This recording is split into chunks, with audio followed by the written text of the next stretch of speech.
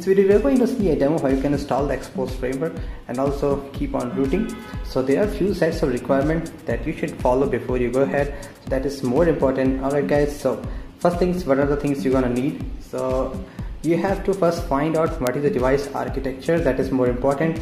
So to do that you can use any of the you know uh, application like CPU-Z, CPU-X I'm using my device so you have to go to the CPU things and find what is system architecture. As you can see my uh, system is ARM64 that is it is uh, AR64 processor. So your device might be uh, ARM ARM64 or maybe x86 is very rare chances. If you have high-end flagship like the OnePlus or other high-end devices so probably you are 64-bit architecture. So I have downloaded the same 64-bit architecture file. I'll put the exact link of all the architecture. Do not worry about those things. You just have to go to the video description. Everything is written there all the downloading is there. I'm just telling you what I have done. So in case you have such devices I'm going to show you guys demo on OnePlus 3 so you need to download this file and there are actually two modules available from two separate sources.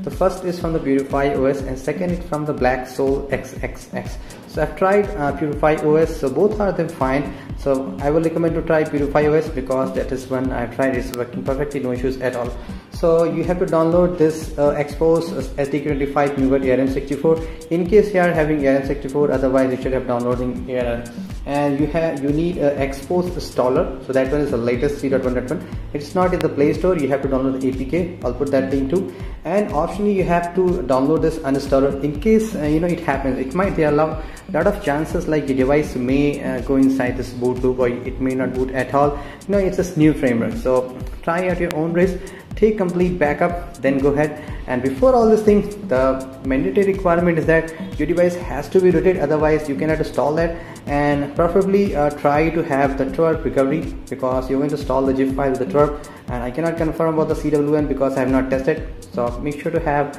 uh, installed now how to root your device? Uh, I have detailed videos lot of videos. I have created detailed post I have written. So check the description. Everything will be there. So I'm assuming your device is rooted. You have the latest TWRP installed alright so uh, you can verify that. I have the latest TWRP installed now already have installed Xposed I'm just going to show you guys how you can do that. So my device is rooted. So uh, first things your device has to be rooted with TWRP installed then make sure to download the proper file whichever is needed for your phone now for the rooted, there may be two methods. You may have rooted your device with the Super SU or with the Magisk. So I will recommend you to try with the Magisk because that is more good. You can easily uh, do Android Pay, uh, Snapchat, Pokemon Go, lot of stuff.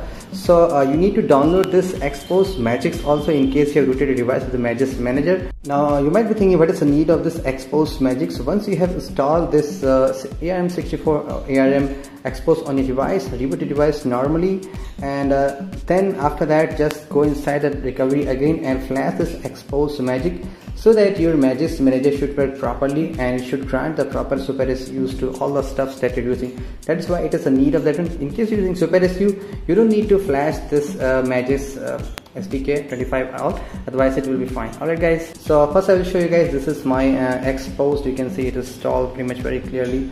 Now you can easily install all the stuff uh, whatever modules you're doing with the marshmallow. So uh, this error is obvious because you know it's not finding any direct zip file on your phone. So I have installed one module. You can see I've installed Greenify and it is perfectly installed working great. So everything you can do there. Alright guys. So and I'm going to show you guys how you can install everything else. I'm just assuming I'm repeating again you should have a rooted device uh, with the TWRP recovery installed and you should have downloaded the proper file ARM64 ARM x86 whatever there. Check the description everything you will get. And make sure to use Purify OS because that's one I have tested. I cannot guarantee about the Black Soul XSS which is another person created this Xposed one. So guys let's get started and see how to install uh, this uh, Xposed framework. Now the first step is to install this uh, Xposed installer apk so you have downloaded that 3.1.1 just click on install button.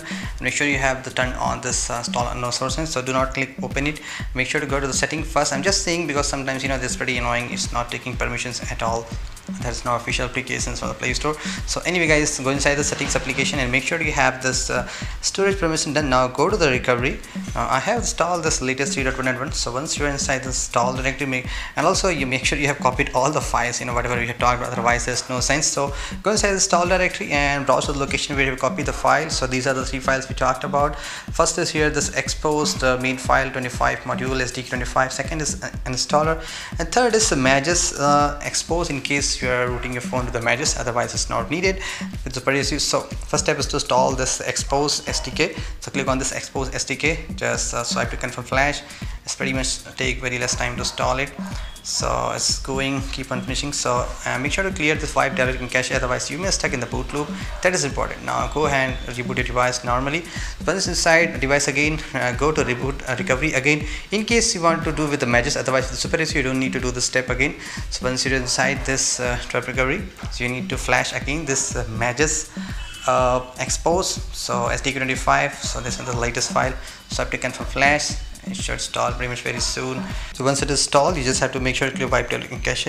And just reboot your device normally you should everything installed so that's pretty much it guys. This is your expose installer for android nougat so in case you guys any issues like it's not working kind of error you are getting so let me know down in the comments or it may be possible you might get some permission error to solve that thing. What you have to do you just have to go to the application because by default uh, expose is not taking permission. That's why i figured that out. You should have to given the storage permission. That is more important.